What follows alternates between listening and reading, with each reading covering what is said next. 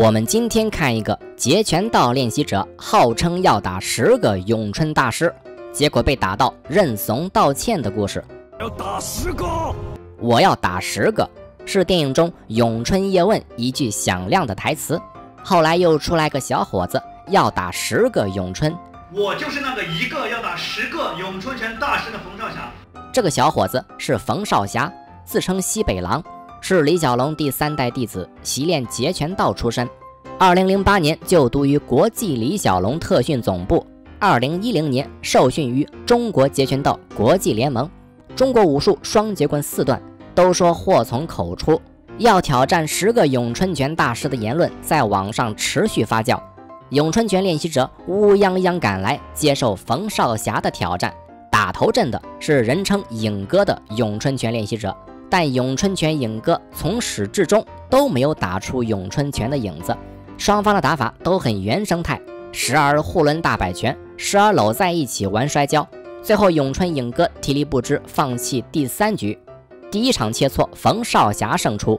一问冯少侠称要打十个。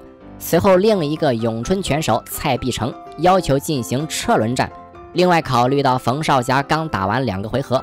蔡必成还提出可以只用一只手跟冯少侠对决，不过冯少侠干了件很刺激的事情，打完一个就跑，迅速离开。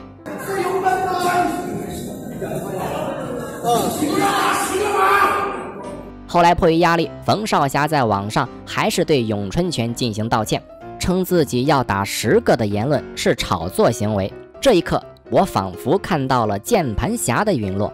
请全国各地练习咏春拳的朋友接受我的道歉。再后来，冯少侠很刚，休整过后还是决定接受蔡必成的挑战，于是就有了另外一场切磋。这场切磋，冯少侠全程闭着眼睛乱抡拳。蔡必成人高马大，比冯少侠重二十公斤，但是完全没有从蔡必成身上看到一点咏春拳的影子。乱拳一通乱抡后，冯少侠肋部遭到重击，被打得岔气，放弃比赛。后来，冯少侠指责对手恃强凌弱，称对手虽然赢了比赛，但是输了武德。因为武者应该打比自己强的对手，不应该挑战比自己弱的对手。小蔡他恃强凌弱，虽然他赢得了比赛，但是我认为他输了武德。武者就应该专挑比自己强大的对手切磋，而不应该专挑比自己弱的对手切磋。其实双方都有自己的小算盘。冯少侠跟咏春的摩擦刚结束，他又把矛头指向跆拳道，称可以打十个跆拳道黑带。练跆拳道都是花拳绣腿花架子，我可以干翻十个黑带跆拳道教练。小伙子也算得上敢打敢吹，为了流量也豁出去了。喜欢武术与搏击的朋友可以订阅我们的频道。青山不改，绿水长流。我是阿良，我们下期再见。